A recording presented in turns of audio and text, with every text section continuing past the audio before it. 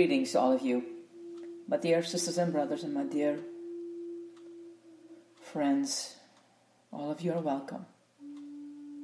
This is your Pastor Yanni. I hope that all of you had a wonderful weekend and that you had special moments with your family or church members or whatever you did in that weekend. Maybe some were having a adventure in a a trip they did or whatever. The only thing that matters is that you have joy in it, that you really have a moment that you said, well, this was nice. And maybe sometimes when it goes much in, well, it can go also in another direction where our days are not, you know, I say, well, whatever. But it still has a meaning in looking back and then make, me say, a diagnose of it and see what it gave you. So let's come with me to a new study and devotion about our humility, the beauty of holiness. And for today, it is the humanity of Jesus. I among you as he that serves. Luke 22 27. I am among you as he that serves. In the Gospel of John, we have the inner life of our Lord led upon to open to us. And Jesus speaks frequently of his relationship to the Father, the motives by which he is guided, and his knowledge of the power and spirit in which he acts. Though the word humble does not occur. There is no other place in Scripture where we see his humility so clearly. We have already said that this attribute is nothing more than the simple consent of the creature to let God be all, in which the creature surrenders itself to his working alone. In Jesus, we will see how both as the Son of God in heaven and as man upon earth, he took the place of total servitude and gave God the honor and the glory which is due him. What he thought about humility was made true in himself. He that humbles himself shall be exalted. As it is written, He humbled himself, and therefore God also has highly exalted him. Listen to the words in which our Lord speaks of his relationship to the Father, and notice how often he uses the words not and nothing of himself. The not I in which Paul expresses his relationship to Christ in the very spirit of what Christ says about his relationship to the Father. And maybe you can write the scripture verse and book down. Here it comes. The Son cannot do nothing of himself. John chapter 5, 19. I can of my own self do nothing. As I hear, I judge, and my judgment is not is just because I seek not my own will. John 5:30. I do not receive glory from man. John 5:41. For I came down from the heaven not to my own will, but the will of him that sent me. John 6:38. My doctrine is not mine. John 7:16. I have not come of myself. John 7:28. I do nothing of myself. John 8 28. Neither did I come of myself, but he sent me. John 8:42. I seek not my own glory. John 8:50. The words that I speak unto you, I speak not of myself. John 14:10. The word which you have heard is not mine. John 14:24.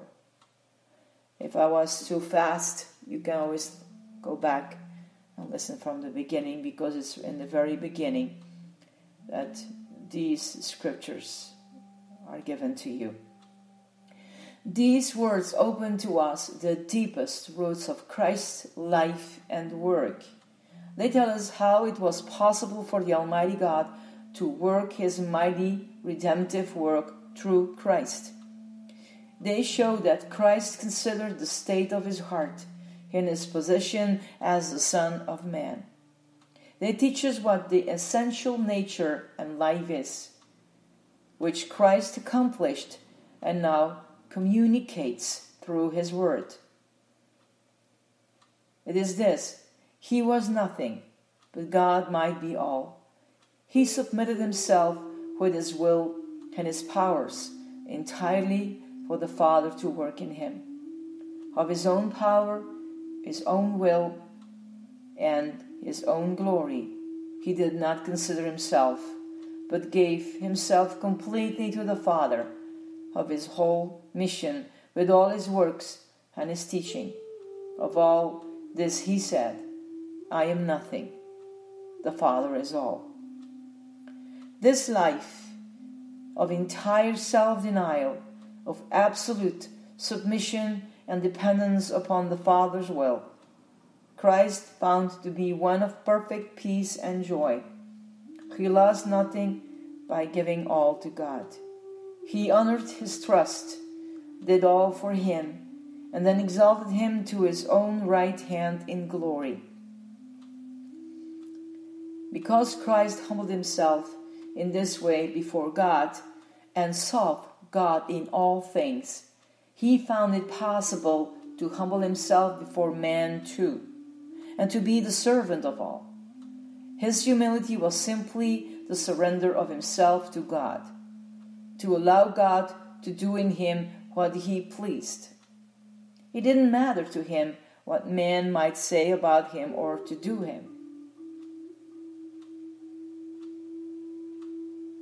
It is in this state of mind, in the spirit and disposition, that the redemption of Christ has its value and effectiveness. The very reason we are made partakers of Christ is to bring us to this dispo- disposition. This is the true self denial to which our Savior calls us the acknowledgement that self has nothing good in it except as an empty vessel which God must fill. Its claim to be or do anything may not for a moment be allowed. It is in this, above and before everything, in which the conformity to Jesus exists, the being and doing nothing of ourselves, that God may be all. Here we have the root and nature of true humility. It is because this is not understood nor pursued that our humility is so superficial and feeble. We must learn from Jesus how he is meek and lonely of heart. He teaches us where true humility takes its proper place and finds its strength, I mean, proper place. This happens when we take hold of the knowledge that it is God who works all in all, that our responsibility is to yield to Himself in perfect surrender and dependence. In full compliance to be and to do nothing of ourselves. Christ came to reveal and pass on a life to God that came through death to sin and self. If we feel this life is too difficult for us and beyond our reach, it must motivate us even more to seek it in Him. It is the indwelling Christ who will live in us this life, meek and lowly. If you long for this, let us above everything seek the holy secret of the knowledge of the nature of God, the secret which all of nature, every creature, and every child of God is to be the witness, is a realization that it is nothing but a vessel, a channel through which the living God can manifest the riches of his wisdom, power, and goodness. The root of all goodness and grace, of all faith and acceptable worship is that we know we have nothing but what we receive and bow in deepest humility to wait upon God for it. This humility was not simply a fleeting thought, wakening up and exercised when he thought of God, but the very expression of his whole life.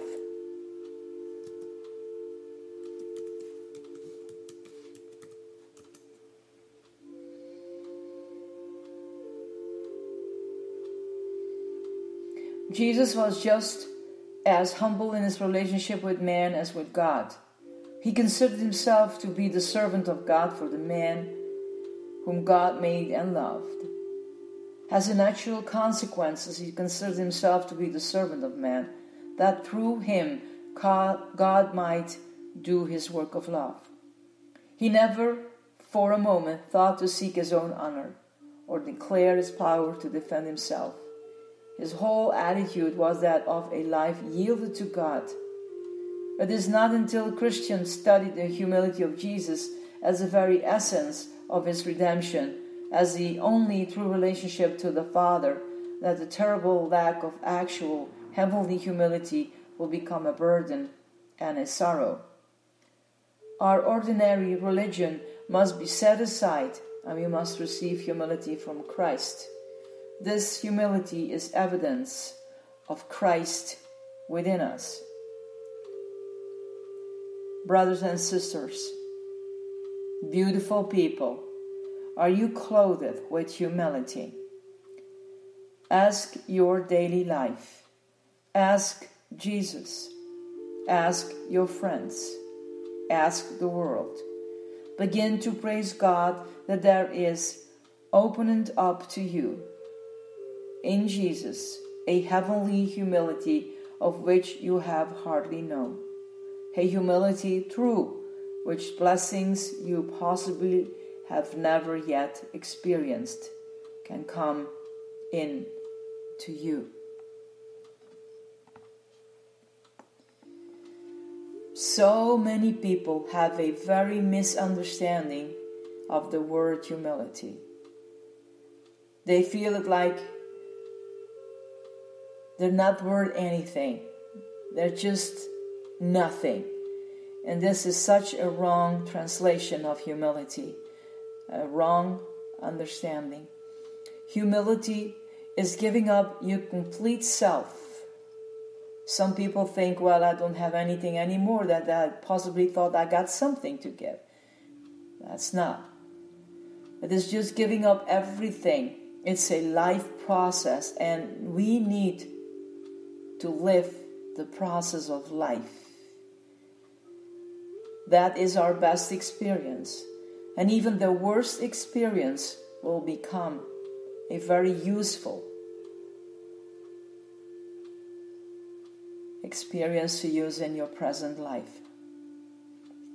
Of course, if we are able to give ourselves in complete surrender, to really come to the understanding what really humility means. Go back and listen again if you need it, whatever you do with it. The most important thing is that it will help you in your adventure with Christ.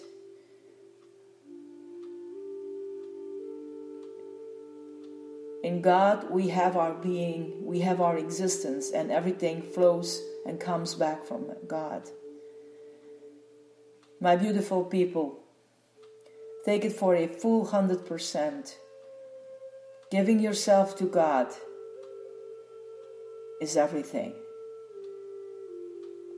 It's the most powerful, beautiful, amazing thing that will happen.